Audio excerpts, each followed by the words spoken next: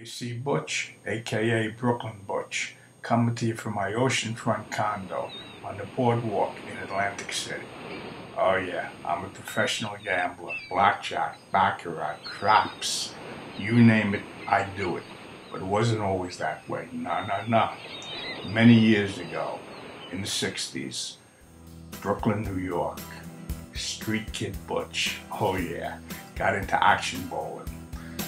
I've been asked many times, what is action bowling? What's it all about? Well, first of all, let me tell you something. It is filled with some of the greatest characters ever. Guys like Rags, Lemon, the Ox, Fats and Deacon, Beeper, The One, Bernie Bananas, The Whale, Snake, Rudy Revs, Buffalo, The Cane, Berkey Baby, Doug the Rug, and it goes on and on and on, and I loved it. First, let me get something straight. I love team sports. I love basketball and football and baseball. As a matter of fact, as a, as a young guy, I was uh, really very good at baseball, good enough to possibly turn pro. I mean, I was a power hitter, I was fast, golden glove in the outfield and first base, and uh, it all ended though. It all ended when I started bowling. Uh, I, I, just I just didn't have my head any other place. I loved going heads up, like boxing, wrestling, MMA, tennis, that's what I love. The excitement of me against you, in your face, Brooklyn style, street style. What turns me on the most about action bowling was the alleys themselves. Back in the 60s, smoke filled, 1 a.m. in the morning. Gangsters, Shylocks, bookies, accountants, street people, you name it. Everybody there for one reason to watch and bet on some of the greatest bowlers in the world going head to head, mano to mano, uno uno. And I tell you, it was like gladiators in the Coliseum. You couldn't match it. I loved it. Getting up on those alleys, collecting the money from the back end, standing there in the 10th frame the excitement of needing the strike to win. That's when my life really began. I knew I would throw it. I had no doubts about it. I could visualize the ball going down the alley, crashing into the pins, all 10 into the back pit, turning around, everybody high-fiving. Let me tell you, the greatest high in the world. I wouldn't give up those days for anything. That was living. And let's go out to Brooklyn Butch. Yes. Makes me want to grab a ball and go out and get a match right now. Hello, guys. How you doing? Hey, Good, how you absolutely tremendous. Great piece of work there. We can't claim credit for it. That is actually yours. Uh, thank you very much. Thank you very much. It, it's it's a life I love. There's nothing like it, and uh, and let me tell you something. There's so many guys out there, great action bowlers. Many of them, many of the great action bowlers are now PBA Hall of Famers, and it's like being out in the desert. The sun just coming down on your head, and you're looking for something, and there's nothing out there. All of a sudden, you find a watering hole. It's like action heaven. That's what our Facebook group is. It's it's a collection of people being able to come there, the legends, the true legends of the game, being able to tell their stories, talk back and forth to each other, and it's one of a kind, the only kind in the world. Yeah, I mean, you mentioned a lot of names, mostly from the Brooklyn area. And when we had Steve Rudolph on a couple of weeks ago, we are talking is just about every place in the country had their little pocket of hustlers, action bowlers. I mean, I can run off a half a dozen names from New England that no one ever heard of, but within that mix of Ronnie Haydum, Roger Urban, Tony Mazzola, uh, names like that, that I who are they? But they were great, great action players. Oh, absolutely. I mean, uh, I mean, throughout the country, through different eras, whether 30s, 40s, 50s, Chicago, St. Louis, Milwaukee, Texas was loaded with a, Mm-hmm. a lot of big action bowlers. The one thing about New York is, though, we had more of it. I mean, Yeah. we didn't really get hit big with it until the 60s. That, to me, is uh, the golden era of action bowling. But the amount of action bowling we had was just off the wall ridiculous. I mean, I'm talking about uh, in Brooklyn alone, and that's where I'm from, so that's why I talk mostly about it. Uh, we had at least 15 different alleys that had a lot of action in it, you know, throughout different periods of time. Uh, of course, Central Lanes uh, was the biggest of all. Uh, and uh, that wasn't in Brooklyn, but uh, but it just goes on and on and on. It was such a fantastic life, something that we'll never have again. Now, was Central and Yonkers right down from the raceway? Yeah, right. Well, well, it was a little further up, but uh, not far from Yonkers, right? Yeah, because we heard about that. That you could be there at midnight on Saturday, and you can get any action you want. We got there about eleven o'clock, and like, it's desolate. Oh, oh, absolutely. But you walked we in went out there to on eat. Saturday night, and that's the night they had it. I mean, Avenue M in Brooklyn, in in its heyday, we had big, big time action there. Literally five to six nights a week for a couple of years run. It was just unbelievable. Sometimes uh, we had all 28 lanes going. It wasn't a big house like Central Lane. Central had, I think it was 48 or 52 or whatever it might be. But for Saturday night, for that one shot deal, there was nothing like Central Lanes. I mean, I'm talking about you going there, the biggest of the bigs. You had Richie Hornwright and Lemon and and uh, Ralph and and and Ernie, every big name and pros. Any pro could walk in there; they'd get action, and most of the time they'd get beat. It was that simple. Yeah, and it wasn't that you had to be one of those big names. You could go down another pair of lanes, and someone with a 150 average is trying to hustle up another 150 bowler. Oh, absolutely. I mean, I, I mean that was the beauty of action bowling, and of course we tend to talk about the top end of it, but there was much more action as far as volume goes with guys that averaged, okay, I won't say 150, but guys that averaged uh, 180, 190, a tremendous amount of action. Uh, I myself uh, bowled uh, right below the top tier. I never wanted to be in the top tier, and it's simple. You can't make money there. I couldn't. I, I mean, I was good. Certain nights I could have bowled up there with some of the best, maybe, but make money never happened. But where I laid right be, right below that tier, I never had a losing year. I, I, I mean, this is in the '60s.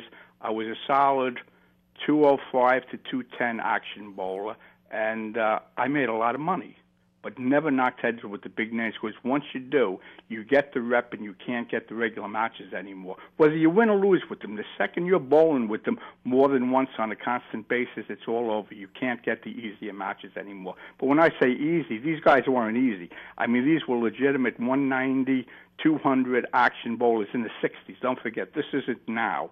In the 60s, 200, 205 was decent. Okay, the greats still were able to go out there on any given night and shoot the 220s, 230s, 240s, and sometimes even more. I mean, guys like Bob Perry and stuff like that, unbelievable. The scores that this man could shoot were just off the wall, unbelievable. Yeah, I was going to bring up that same point because back then a 180, 190 bowler was only a mark away from the top bowler. Now 180, 190, you're half a game away from a top bowler. Oh, oh it, it, it's it's no comparison. Uh, I enjoyed bowling back then. I enjoy I enjoyed the harder conditions when you really had to be good at what you were doing. Uh, to make that ball hook, you really knew how to. Uh, you, you had to know how to do it. It just didn't come natural because of the way the ball was manufactured, because of uh, the alley conditions or anything like that. A whole completely different ball game. I love the '60s, and as far as pure volume goes, the '70s, the '80s, the '90s, there was a lot of action bowling. Don't come near the volume of action from the '60s. It was just off the wall. It was unbelievable. Yeah, and uh, in your, the video, we only got to hear the audio on the radio, but you had the full-on shot of Maple Lanes. And last Right. last uh, Wednesday morning, I met with John Laspina. And Oh, really? yeah. Well, he just bought is a man that countryside lanes down really here. In, really in the bowling scene. I mean, the amount of lanes that he's owned throughout Brooklyn and elsewhere. Yeah, and he was and he, he hated the hustling because he had to keep replacing the carpet every year because you guys always would just put your cigarettes right out on this carpet. As a not yeah, the bowlers, yeah, yeah, those well, were the, the other guys. uh, but but Maple, Maple, one of his first main places, they had they had a food counter there that was unbelievable. I mean, you, I, I mean, when it came to their type of food, breakfast food, burgers, so on and so forth, you couldn't get better in the best restaurants. They were off the wall completely when it came to food, and I love food. Sounds like it. Uh, on Facebook, how can people? Uh, what can people look forward to by going on your Facebook page? Oh, okay. Well, the easiest way to get there, I mean, I'll give you both URLs, but my original uh, uh, site is actionbowlers.com, a regular website, which is uh, one of a kind, the only one of its uh, of what it is in the whole world. Also, that's that's what started it all. Uh, so if you uh, anybody goes to actionbowlers.com, uh, right on the front page is uh, the complete link to the Facebook. If you want to go directly to the Facebook group page, it's facebook.com slash groups, G R O U P S, slash action bowlers. But the easiest way to remember it is just go to actionbowlers.com and click on the front page, and you'll be right there. And once you're there, I mean, you have the biggest and the best action bowlers from all time, members there, active, PBA Hall of Famers. Uh, uh, I, I mean, the biggest of the big names right there. You you can interact with them. You can hear their stories. It's just a phenomenal thing. It's it's it's uh, it's just unreal completely. And Yeah. these guys have a place to go. This is their home now. Yeah, and for those that maybe have trouble remember remembering things, if you're on Facebook, you can just type in Brooklyn Butch. That'll bring you there, and I'm sure if you Google it, it'll bring you there yeah, somehow. well, Brooklyn Butch or Action Bowlers, Yeah. right? Action Bowlers, because actually the actual group name is Action Bowlers. Uh, uh, I started it, but the group name is Action Bowlers. So we finally got you, and I guess you've posted the August 21st, which was our action show up on the website. So um, Right, uh, absolutely. That was a great show. Uh, all the guys did fantastic, and uh, and uh, it's up there now forever. yeah, as a matter of fact, I heard back from Steve Rudolph a couple of days ago. He was trying to coach his nephew, and this lady coach came up to him and said, "You can't, you can't do that. You're not a certified coach." I mean, here's a guy with like PBA member, 4300s, 10800s, but he's not good enough to coach his nephew. And as as I answered back to him because he was asking, "Well, what's this certification stuff?" And I Right, said, "Well, right. you know, if John Jowdy, Don Johnson, uh, Tom Corris, if they were certified, they could have been really good coaches." Dick That's Ritger. right. That's right. Dick Ritger well, I'll tell you, Steve one. really impressed me that day. Now, uh, he does a lot of posting. He's very active, but uh, I never spoke to him or actually heard his voice or heard him tell a story. And uh, he was like a pro up there. Uh, when he was on your show, he was fantastic as far as I'm concerned. Yeah, I heard back from Larry Dwoskins afterwards. I guess he just had some surgery, and uh, I guess it's not going well. And he said this might be kind of my last posting on the internet because I can't see that well anymore. So You're talking about Lenny Dwoskin. Lenny, yeah, Lenny the Cane Dwoskin, my original, well, he wasn't an actual partner in Action Bowlers, but uh, uh, when I started the site well over 10 years ago, back in the late 90s, he was such a gigantic part of it. Uh, he's from Brooklyn. I know him well because uh, I hung out with him at Avenue M. Of course, there was many years in between. We had nothing to do with each other. But when he came on to Action Bowlers, the website, his story is just just unbelievable. He contributed so much to that site to make it the gigantic success that it became. Lenny Lenny is a class guy. Well, Brooklyn Butch, we appreciate you coming on. We're going to have to have you on again because a lot more great stories I'm sure we can hear. the city has a million the- yeah, stories. there's so many something. stories. They're actually in the thousands. Not that I know every one by heart, but but uh, but it just doesn't end. Okay, hold on, Brooklyn Butch. We'll be right back. You got it. All righty, take care now.